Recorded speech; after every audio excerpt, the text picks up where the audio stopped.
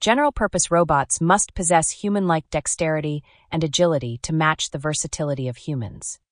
A human like form factor further enables leveraging the wealth of data available from human hand interactions.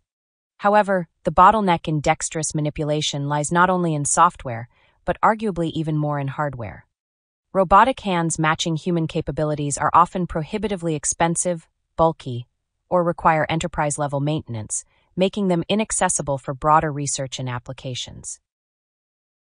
What if the research community could get started with reliable dexterous hands within a day? We present the Orca hand, a tendon driven robotic hand with fully integrated tactile sensors that can be assembled in under eight hours and with a material cost basis of only $2,000. The pop-able pin joint design does not only allow for a quick assembly, but it also prevents joints from breaking when excessive stress is applied. The reusability of the joint after failure saves valuable time and resources that would otherwise have been wasted on rebuilding the necessary parts. After successful assembly of the Orca hand, an auto calibration step will be performed.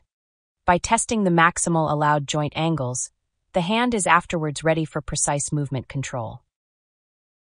We benchmarked our system's tendon driven dynamics against the dynamics of a direct driven robot hand and were able to achieve similar accuracy to the LEAP hand while being far less bulky in our design.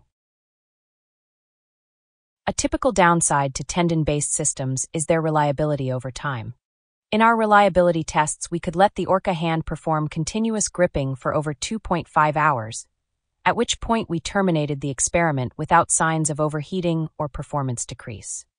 This great durability is thanks to a design of our tendon system with minimal friction, as well as a manual retensioning ratchet spool mechanism.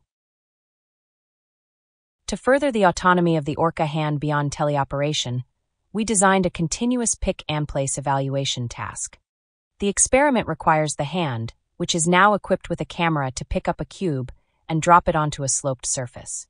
From there, it can roll into a new random position, and the experiment can repeat itself.